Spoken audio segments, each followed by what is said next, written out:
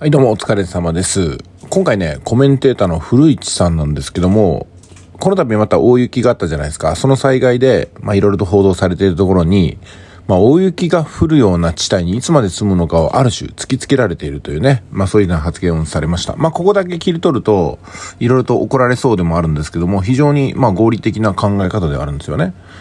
の雪の災害って本当に頭を悩ましたりとか、暖房費が上がったりとか、車乗られてる方はスタッドレスタイヤ、チェーンを巻いたりとか、えー当然物流にも影響が出るんで、えー配送が遅れたりとかね、事故が起きたりとか、いろいろとリスクがあるわけなんですよね。で、それは別にこの古市さんに言われなくても、住んでる方が常に思ってることなんですよ。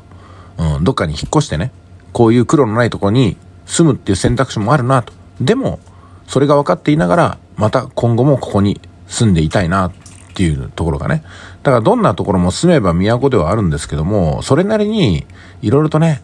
不自由なところありますよ。でも不自由なことを超えて、そこに愛着があったりとか、文化や歴史があったりとかね、それからあ自分を取り囲む地域や社会があるということを考えれば、この雪が降るっていう一点を持ってね、ポンポン引っ越すっていうことにはならないと思うんですよ。まあですので、そういうこともね、あのー知った上で理解した上でこの方も発言してるのはどう考えてもわわかるんで、この発言一つを捉えてね、このコメンテーターダメだなとかね、クソだなとか言うつもりは全くないんですけども、うん、やっぱりね、どこに住んでてもね、あの、何？ゴミの当番がたまには回ってくるんで嫌だとかね、町内会費を払わなくちゃいけないところに来ちゃったとか、タワーマンションは最上階の方は結構エレベーターが混雑するから嫌だとかね、嫌なところが出てくるんですよね。だからその嫌なところをちょっとね、ぼやいたぐらいで、あ、だったらやめたらとかね。誰やって話じゃないですか。ねそれだったら、もう本当に住むところもなくなっちゃうし、じゃあ、あの、プロレスラーですよね。プロレスラーをやっていて、あんまり儲かる仕事じゃないですよ。それで大怪我をして病院に担ぎ込まれてね。で、家族の方がすごく心配して駆けつけて、うん、なんか入院生活が1ヶ月続きましたっていうところに向かって、プロレスラーやめたらって。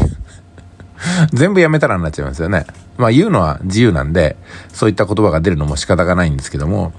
うん。まあだからといってね、そういったコメンテーターの発言一つ一つを取り上げて、こいつはダメだっていうことにはないと思うんですよ。まあ多くの方が感じてる疑問を、私も感じてますよっていうことを提起してくれたに過ぎなくって、でもそういうことを分かっている当事者も、それを超えて愛着のあるところに、まあ住んでいるってところ、まあそういうふうに理解すればいいんじゃないかなと思いますけどね。皆さんどうですかね？なんかね、嫌なところって何でも見えてくると思うんですけども、それをもって残りのいいところが、うん、なんか感化できないってことになりますかね。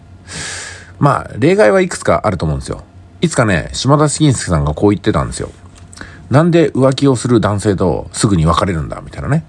95%はとってもいい人やんか、と。5%の浮気っていうところだけを強調するから別れたいってことになるけども、残りの95%どうするんや？みたいなね。だから浮気はしていいんですっていう結論に持っていこうとして、随分口八丁手八丁言ったもんですけども。うん、まあでもね、そういうふうに、ここはダメだよっていうところとね、まあ、そうは言っても、他にいいところがあるからさ、みたいなところでね、住まいってのは通りっぺんにはいかないってことなんじゃないかなと思います。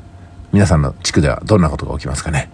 とっても暑くて過ごしにくいとかね、え近所に騒音おばさんがいるとかね。まあそんなこといろいろあると思いますけども、まあそれでもね、やっぱ住まいって自分たちで改善できますし、対策が打てますから、うん、まあこれからも知恵と情報で乗り切っていきましょう。